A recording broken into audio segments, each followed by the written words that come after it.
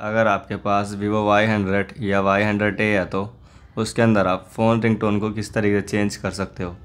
Phone ringtone को change करने के लिए सबसे पहले आपको अपने फ़ोन की सेटिंग को ओपन कर लेना है। फिर उसके बाद आपको थोड़ा सा नीचे जाना है। ऑप्शन शो होगा साउंड का, इस पर टैप कर लेना है।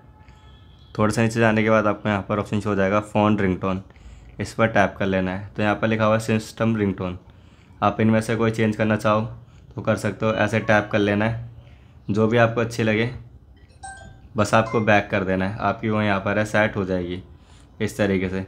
अगर आपको कस्टम में लगाना है, यानी कि आपने कुछ चीज़ डाउनलोड कर रखी है, अपना फेवरेट सॉन्ग या आपने कोई सा भी सॉन्ग डाउनलोड कर रखा है, आपको वो लगाना है तो कस्टम रिंगटोन पे टैप कर देना है। यहाँ पर जितने भी आपने डाउनलोड कर रखे होंगे, इस वाली लिस्ट में आ जाएँगे। आपको क्या करना है उस पर बस टैप कर देना है। ऐसे ऐसे टैप करके बैक कर दोगे तो आपका वो है सेट हो जाएगा। तो इस तरीके से अपने फ़ोन के अंदर फ़ोन रिंगटोन को सेट कर सकते हो या चेंज कर सकते हो। अगर वीडियो अच्छी लगी तो वीडियो को लाइक, शेयर, सब्सक्राइब करें।